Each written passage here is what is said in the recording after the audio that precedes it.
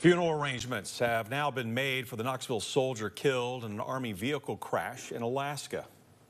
Uh, we get you up to date right now with the latest where Evans was one of two Army specialists killed on October 2nd when an Army vehicle flipped at a training area.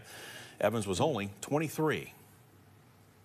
That's right. And this is uh, what we know about those arrangements. On Sunday, October 22nd, a funeral motorcade will escort Evans from Mynatt Funeral Home in Halls to Clear Springs Baptist Church. The motorcade will leave from the funeral home at 1245 that afternoon and arrive at the church at around 1.15. Jeremy Evans' family will then receive friends at 2 o'clock at Clear Springs Baptist Church. That will be followed by a celebration of life service at 4 o'clock.